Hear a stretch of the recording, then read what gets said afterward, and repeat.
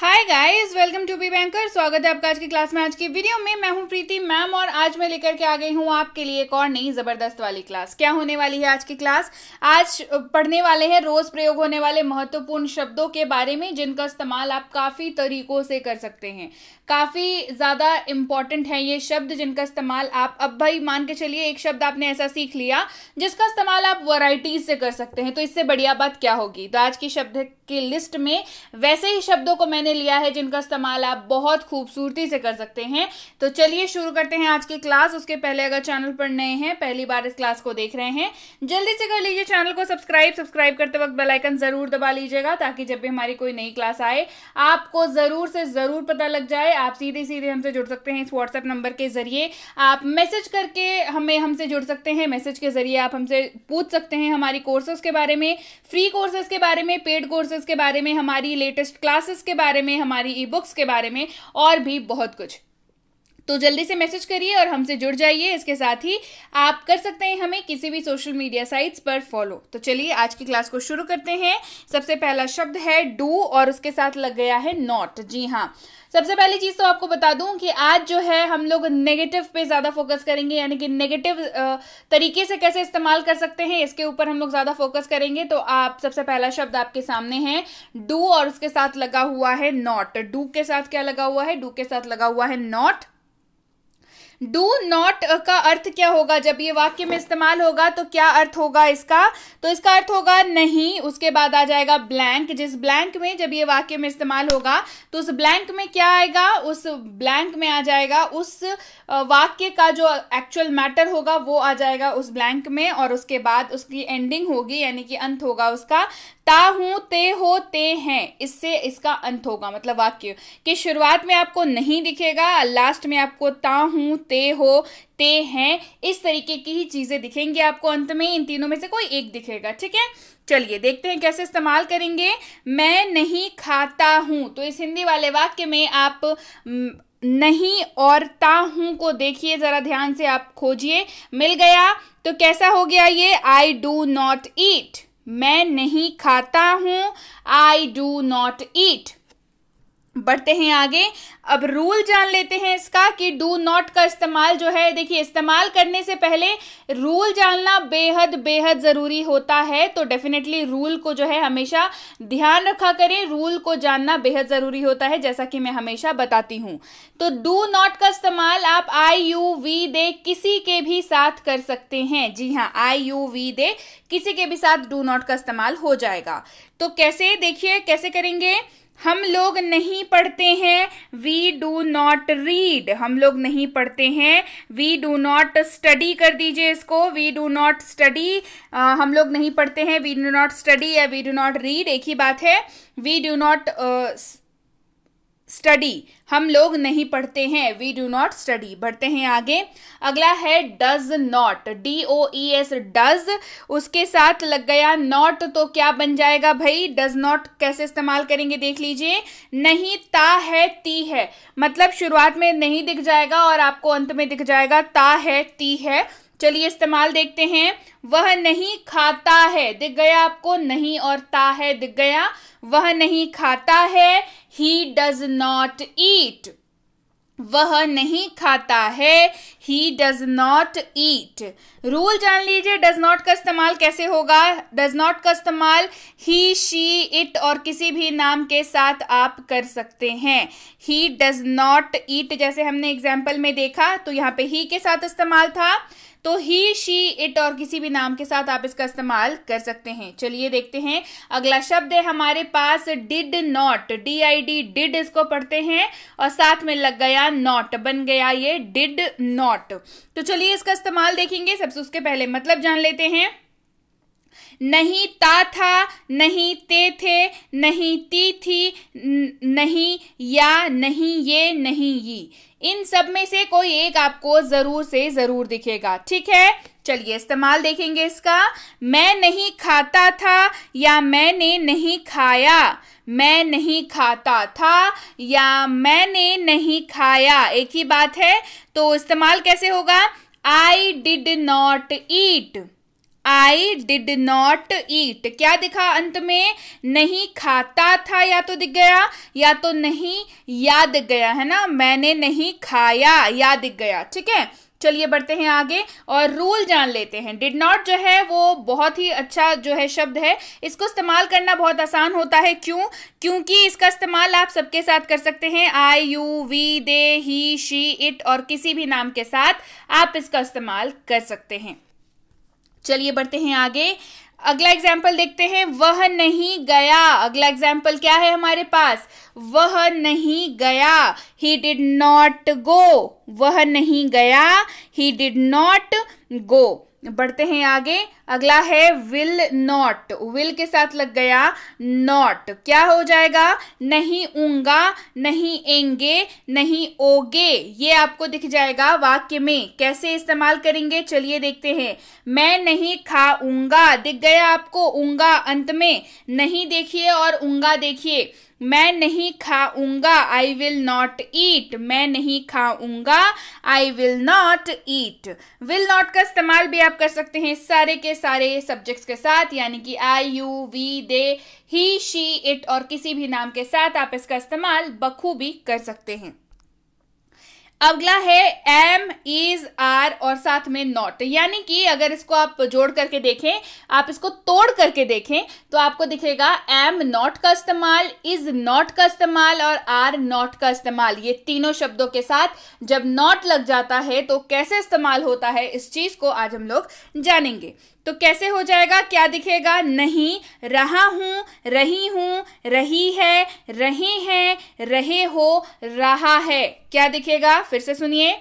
नहीं रहा हूँ, नहीं रही हूँ, नहीं रही है, नहीं रहे हैं, नहीं रहे हो, नहीं रहा है। ये दिखेगा आपको। इस्तेमाल देखते हैं, बेहतर समझ आएगा। मैं नहीं खा रहा हूँ आई एम नॉट ईटिंग मैं नहीं खा रहा हूँ. आई एम नॉट ईटिंग बढ़ते हैं आगे. और यहाँ पे इस्तेमाल जानते हैं एम नॉट का इस्तेमाल आप आई के साथ करेंगे क्योंकि एम लगा हुआ है तो ये सीधी सी बात है। कि आई के साथ इसका इस्तेमाल हो जाएगा आर नॉट का इस्तेमाल आप यू वी और दे के साथ ही करेंगे। इज़ नॉट का इस्तेमाल आप ही शी इट और किसी भी नाम के साथ ही करेंगे। समझ आ गई बात? चलिए बढ़ते हैं आगे। इज़ नॉट का एग्ज़ाम्पल देखते हैं। वह नहीं पढ़ रहा है। ही इज़ नॉट स्टडिंग वह नहीं पढ़ रहा है। He is not studying are not का एग्ज़ाम्पल देखिए एग्जाम्पल्स जितने ज़्यादा होंगे, आपको उतना बेहतर तरीके से समझ आएगा। वे लोग नहीं जा रहे हैं। दे आर नॉट गोइंग वे लोग नहीं जा रहे हैं। दे आर नॉट गोइंग बढ़ते हैं आगे, अगला शब्द है हमारे पास वॉज़ नॉट और वर नॉट जी हाँ इसको आप अलग अलग तोड़ के देखिए। एक है वॉज़ नॉट यानी कि वॉज़ के साथ जब नॉट लगेगा तब, और एक है वर के साथ जब नॉट लगेगा तब। तो चलिए इसका मीनिंग क्या होगा, वो जान लेते हैं, क्या हो जाएगा मीनिंग नहीं रहा था, नहीं रहे थे, नहीं रही थी। ये मीनिंग है इसका। नहीं रहा था, नहीं रहे थे, नहीं रही थी। इस्तेमाल देखिए, मैं नहीं खा रहा था आई वॉज़ नॉट ईटिंग मैं नहीं खा रहा था आई वॉज़ नॉट ईटिंग बढ़ते हैं आगे।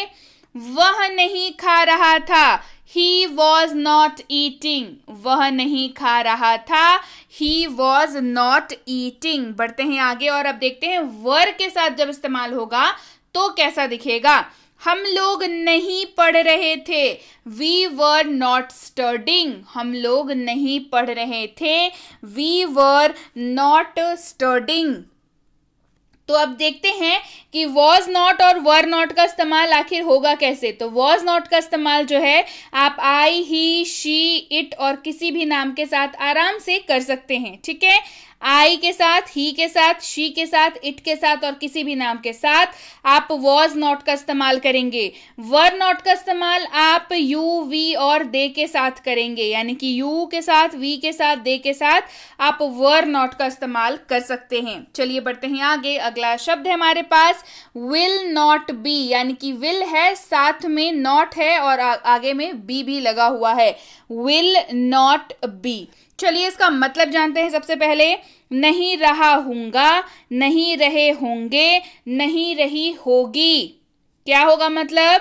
नहीं ब्लैंक दिख रहा है आपको, ये अंडरस्टूड है। नहीं रहा हूँगा, नहीं रहे होंगे, नहीं रही होगी। चलिए, इस्तेमाल देखते हैं। मैं नहीं खा रहा हूँगा I will not be eating मैं नहीं खा रहा हूँगा I will not be eating अब देखते हैं विल नॉट बी का इस्तेमाल आप किसके किसके साथ कर सकते हैं? तो विल नॉट बी का इस्तेमाल आप सब के साथ कर सकते हैं।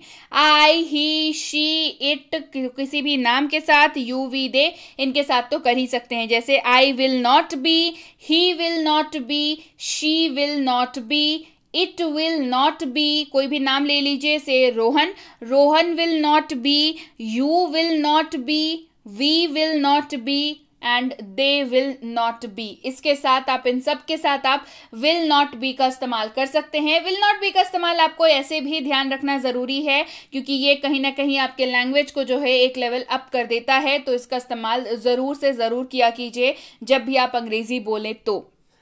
तो ये था विल नॉट बी का इस्तेमाल, और ये थी आज की क्लास। क्लास कैसी लगी? कमेंट करके मुझे ज़रूर बताइए। ये सारी क्लासेस जो हैं, काफ़ी ज़्यादा इंपॉर्टेंट क्लासेस हैं। इन क्लासेस को जानना, ये छोटी छोटी सी चीज़ें हैं, लेकिन बच्चों को यहीं पे प्रॉब्लम आती है। मतलब सीख जाते हैं, एक थोड़ी सी बेसिक लर्निंग जो है उनकी हो जाती है, लेकिन बेसिक लर्निंग के साथ साथ अपनी नॉलेज को भी बढ़ाते रहना बहुत बहुत ज़रूरी है, और ये क्लासेस आपकी नॉलेज में एडिशनल डोज का काम काम करती हैं, यानी कि आप सीख तो रहे ही हैं स्पोकन साथ ही साथ थोड़ा थोड़ा सा हल्का सा डोज जो होता है ना, वो ज़रूर आपको ये क्लासेस दे जाती हैं, ताकि आप अपनी सीखी हुई जो लैंग्वेज है उसको प्रैक्टिस कर सके, अपने नॉलेज को एनहेंस कर सकें। तो ये वाली क्लास वही वाली क्लास थी। क्लासेस आपको कैसी लगी? कमेंट करके मुझे बताइए, क्लास पसंद आई है। जल्दी से कर दीजिए लाइक, कर दीजिए शेयर नहीं किया है चैनल को सब्सक्राइब तो जल्दी से कर लीजिए और बेल आइकन ज़रूर दबा लीजिएगा ताकि जब भी ऐसी कोई क्लास हमारी आए, आपको ज़रूर से ज़रूर पता लग जाए। इसके साथ ही आप जो है बेसिक प्लस स्पोकन इंग्लिश की कोर्स आपने अभी तक देखी कंप्लीट की कि नहीं की, मुझे कमेंट करके बताइए, जिनको नहीं पता है basic plus spoken English course क्या है, उनके लिए मैं बता दूँ बेसिक प्लस स्पोकन इंग्लिश का कोर्स जो है, वो एक फ्री पंद्रह दिनों का स्पोकन इंग्लिश का कोर्स है। जी हाँ आपने सही सुना। फ्री कोर्स है, पंद्रह दिनों का है स्पोकन का कोर्स है, इससे बेटर और क्या हो सकता है?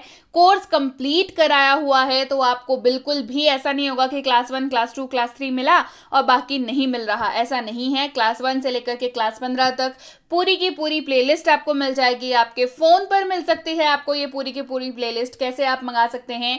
स्क्रीन पे जो नंबर आपको दिख रहा है, उस नंबर पर करना है आपको व्हाट्सएप मैसेज लिख करके मुझे basic plus spoken English course और उसकी ई बुक चाहिए। जी हाँ इस कोर्स की ई बुक भी अवेलेबल है। तो आप अगर चाहें तो इस ई बुक को भी प्राप्त कर सकते हैं। बस आपको करना यह है। किस नंबर पर करना है व्हाट्सएप मैसेज लिख करके मुझे basic plus spoken English course और उसकी ई बुक चाहिए तो आपको ये दोनों चीज़ें हमारी टीम द्वारा भेज दी जाएँगी। इसके साथ ही मिनी स्पोकन इंग्लिश कोर्स और उसकी ई बुक भी आ चुकी है। मिनी स्पोकन इंग्लिश कोर्स अपने आप में एक जादुई कोर्स है, जिसमें आपको मिल जाता है दुनिया का हर वो वाक्य जिसका इस्तेमाल कर सकते हैं आप अपने डेली के स्पोकन इंग्लिश में। यानी कि डेली की जो भी बातें आप करते हैं, उनमें इसका इस्तेमाल कर सकते हैं। इसमें मिल जाता है आपको उन वाक्यों को बनाना। एक्चुअल में आप सीख जाते हैं उन वाक्यों को, उनका स्ट्रक्चर उनका रूल्स क्या, कैसे इस्तेमाल इस्तेमाल होता है, सारी चीज़ें इसमें हैं। मतलब छोटा पैकेट, बड़ा धमाका वाली पूरी की पूरी कोर्स है ये, इसकी ई बुक भी अवेलेबल है। तो स्क्रीन पे जो नंबर दिख रहा है, उस नंबर पर व्हाट्सएप मैसेज करें और मंगा लें इस कोर्स को अपने लिए अभी इसी वक्त। इसके साथ ही ये तीनों किताबें बेहद जल्द आ रही हैं तो प्रतीक्षा करें। और अगर आप जुड़ना चाहते हैं premium WhatsApp spoken English course पे, जो कि प्रीमियम कोर्स है स्पोकन इंग्लिश का, और आपको आपकी व्हाट्सएप की सहूलियत पर कराया जाता है, इससे बेहतर तो कुछ हो ही नहीं सकता। तो इसकी जानकारी आप स्क्रीन पे जो नंबर है उस पर पता कर सकते हैं क्या कोर्स है, कितने दिनों का है, आप कैसे सीखते हैं, इसमें इसकी अगली बैच कब शुरू हो रही है क्लासेस कितने बजे आती हैं, आप कैसे इनको देख सकते हैं, कैसे इन क्लासेस को अटेंड कर सकते हैं, अगली बैच इसकी कब शुरू हो रही है, आप उसमें एडमिशन ले सकते हैं या नहीं ले सकते हैं, या बैचेस फुल हो गई हैं, ये सारी जानकारी आपको स्क्रीन पर जो नंबर है, उस पर व्हाट्सएप मैसेज करके पूछ लेनी है, और इसके रिगार्डिंग आपको जानकारी भेज दी जाएगी। बेसिक इंग्लिश ग्रामर कोर्स अगर करना चाहते हैं, यानी कि ग्रामर की कोर्स है, बिल्कुल बेसिक वाली कोर्स है। अगर आपको थोड़ा सा भी लगता है कि ग्रामर जो है आपका डामाडोल है, यानी कि उतना अच्छा नहीं है, ये कोर्स करके देखिए ग्रामर आपका पक्के तौर पर मज़बूत हो जाने वाला है तो इसकी जानकारी भी इस नंबर पर प्राप्त कर सकते हैं। छोटे बच्चों को ग्रामर सिखाना चाहते हैं, लगता है बहुत मुश्किल का काम है। ये कोर्स करा के देखिए बच्चों को, ये इतना अच्छा कोर्स है, बच्चे खेल खेल में सीख जाते हैं, उन्हें पता भी नहीं चलता कि वो पढ़ाई कर रहे हैं और उनकी नॉलेज स्ट्रांग होती जाती है। तो इसकी जानकारी भी आप इस नंबर पर ले सकते हैं। और ये है basic English grammar and writing for school यानी कि सीधी सी बात है स्कूल जाने वाले बच्चों के लिए कोर्स है।